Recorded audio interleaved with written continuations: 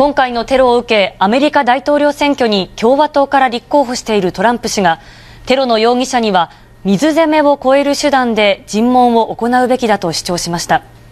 水攻めについては今のオバマ政権は禁止していて、独自の主張が波紋を広げる可能性もあります。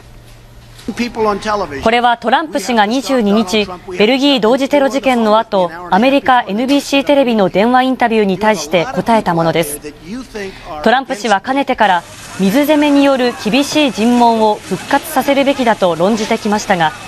今回の同時テロ事件を受けて、それ以上の手法が必要と主張しました。